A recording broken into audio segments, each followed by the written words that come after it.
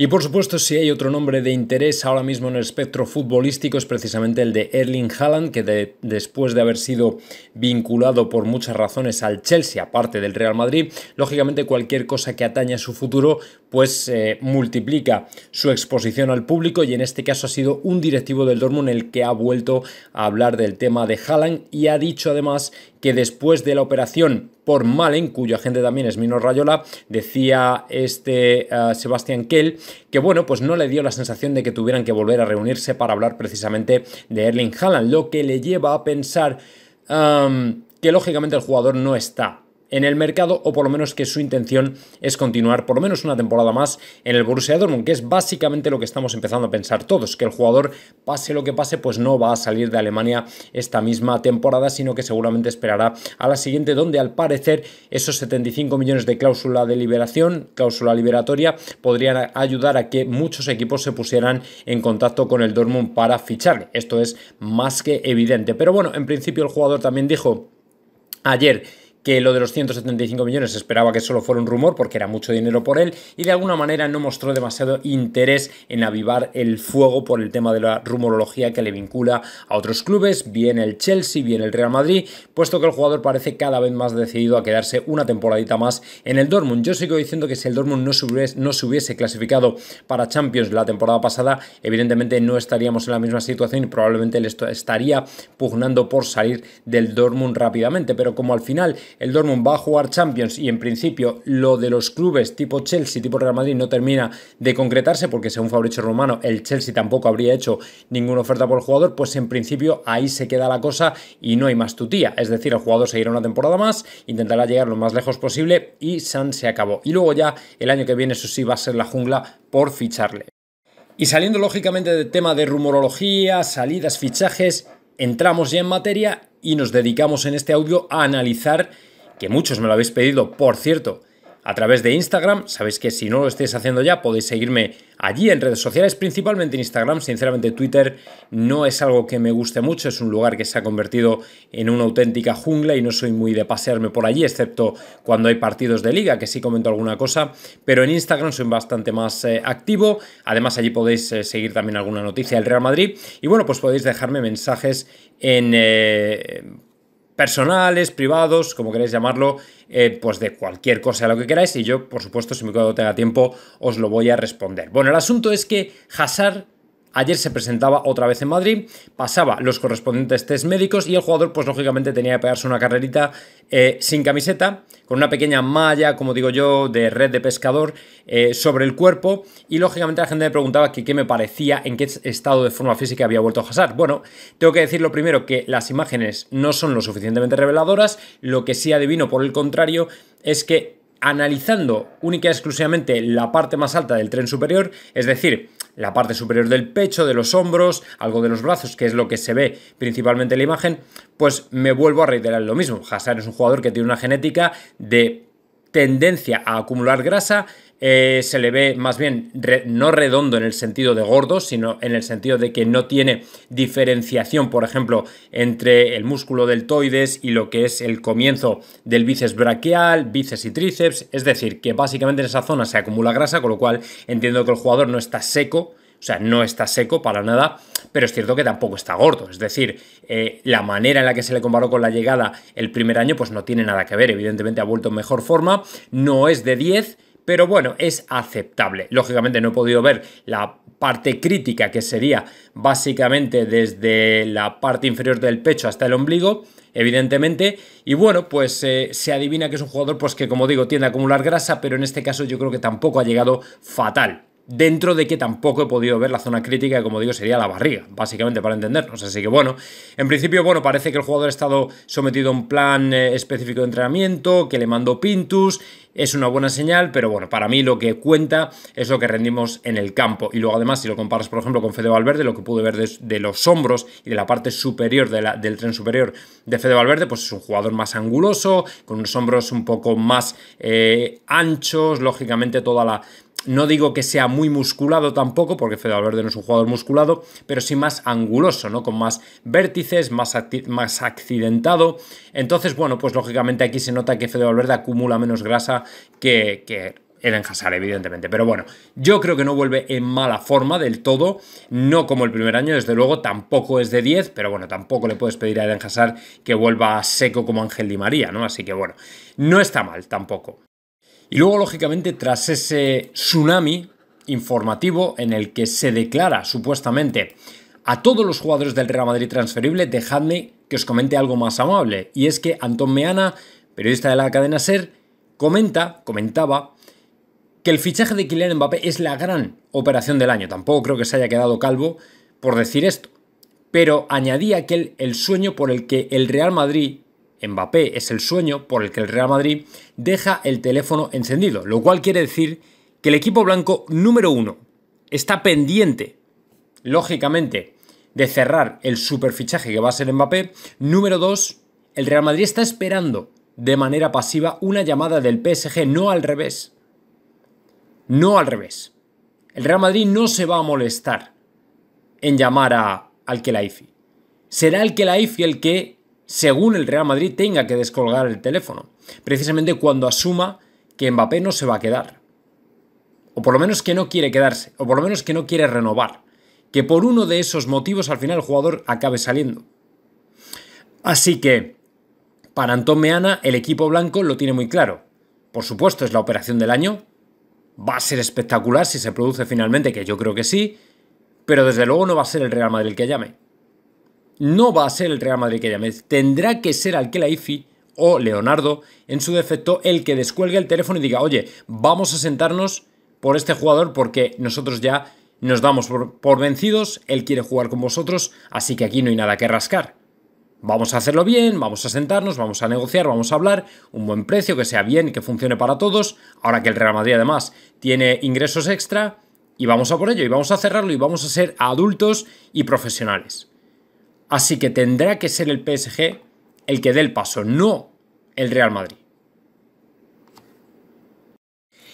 Y dejando a un noruego de lado, vamos con otro noruego, este sí, del Real Madrid, al que según pues todo lo que he estado leyendo por redes sociales y además también, por ejemplo, en Bernabéu Digital, le dan bastantes palos precisamente por el rumor que se disparaba ayer acerca de una posible salida, un posible retorno al Arsenal por entender el jugador que quizá volver al Real Madrid ha sido un error. Y bueno, pues precisamente por este rumor que salió de alguna parte de que Erling Haaland, eh, perdón, este Martin Odegaard quería abandonar el Real Madrid porque no se sentía cómodo después del primer partido por todas las críticas que le han llovido y tal y cual, pues lógicamente de alguna manera encendía al madridismo. Y ya no es solo en redes sociales en general, en mi propio Instagram ayer posteaba una foto del jugador y bueno, pues me dejabais vuestros comentarios diciendo pues que oye, que si no está a gusto que se largue. Y algunos otros canales de YouTube iban un poco en la misma dirección, es decir, que si el Arsenal quiere poner la pasta sobre la mesa, pues que la ponga y nos lo quitamos de encima y fuera porque no es el jugador adecuado para el Real Madrid, toda vez que el jugador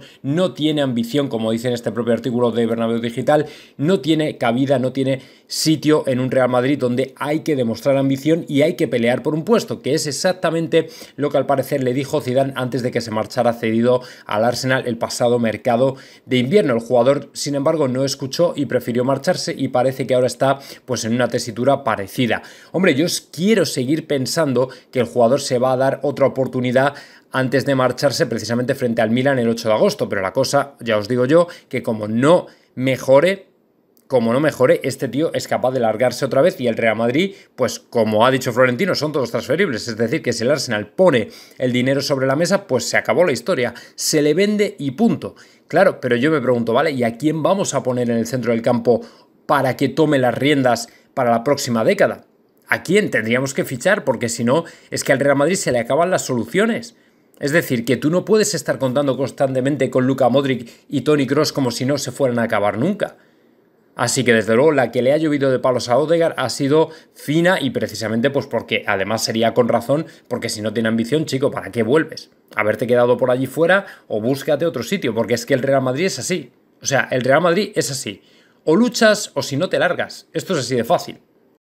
Y bueno, puesto que ahora ya todo el mundo mundial conoce que Rafa Brand se ha marchado al Manchester United, tendremos que hablar lógicamente o tenemos que decir y poner sobre la mesa lo que finalmente ha sido el precio definitivo de la operación, que son, tal y como se venía comentando, 50 millones de euros. 50 millones de euros que lógicamente van a ayudar al Real Madrid a ingresar algo más de dinero en tesorería y lógicamente si quiere también va a ayudar para el fichaje de Mbappé o cualquier otra incorporación en la que pudiera estar pensando. Sabéis que se había especulado mucho con el precio del jugador, era algo que bueno, pues público y notorio con lo que se tenía que jugar, el Manchester United y el Real Madrid tenían ahí sus desacuerdos, el United no quería ofrecer más de 40 o 45 kilos, el Real Madrid lógicamente pedía 60, tampoco lo quería regalar, pero bien es cierto que siendo el último año de contrato, pues no tenía mucho sentido forzar demasiado la máquina porque se te podía ir libre el año que viene y además también es verdad que el jugador quería hacer las cosas bien, no quería ningún tipo de jaleo, ningún tipo de drama, se quería ir bien del Real Madrid y bueno, pues al final el Real Madrid ha entendido que si el jugador se quiere marchar, a diferencia del Paris Saint Germain,